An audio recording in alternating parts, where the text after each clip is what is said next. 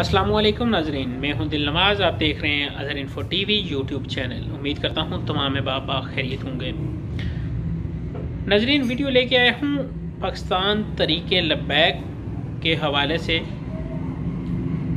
जैसा कि मैंने पहले भी वीडियो बनाई है और उसमें बताया गया था कि शेख रशीद के बयान के मुताबिक और उससे शेख रशीद के बयान से भी पहले मैं एक वीडियो बना चुका था, जिसमें कहा गया था कि नूरुल साहब साद रिजवी और अला क्यादत टी एल पी की जो है उसके साथ रबते में हैं और 16 फरवरी को जो डेड लाइन ख़त्म हो रही है आ, उसके बारे में गुफ्त शनीद हैं कि उसके बारे में कोई बेहतर मुस्बत हल निकाला जाए।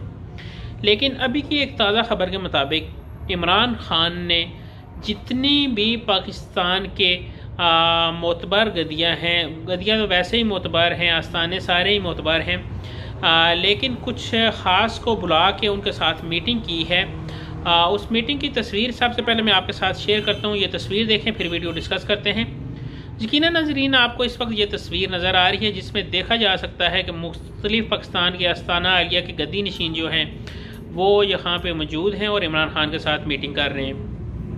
वीडियो शुरू करते हैं और मज़ीद वीडियो शुरू करने से पहले अपने देखे हुए नजरीन से गुजारिश करूँगी अगर आपने हमारे चैनल को अभी तक सब्सक्राइब नहीं किया तो प्लीज़ मेहरबानी फरमाकर चैनल को कर लें सब्सक्राइब और साथ में जूद घंटी का बटन दबा दें, ताकि इसके बाद भी हमारी आने वाली वीडियो ज़रिए नोटिफिकेशन आपके पास पहुँचती रहें और आपकी मालूम में इजाफा होता रहे।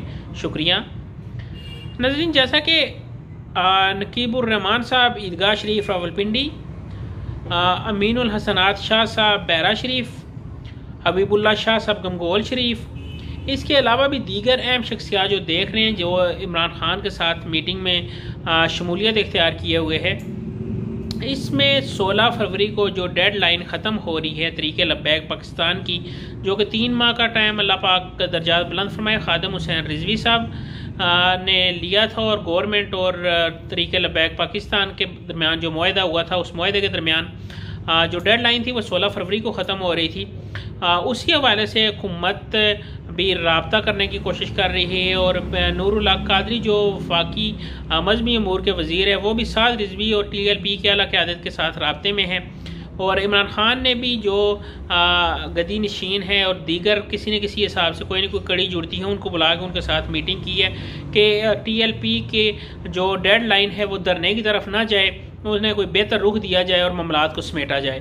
नजरीन, इस वक्त की यही थी करंट इन्फॉर्मेशन। मजीद भी जो इन्फॉर्मेशन हमारे पास आएगी, हम आप तक पहुँचाते रहेंगे।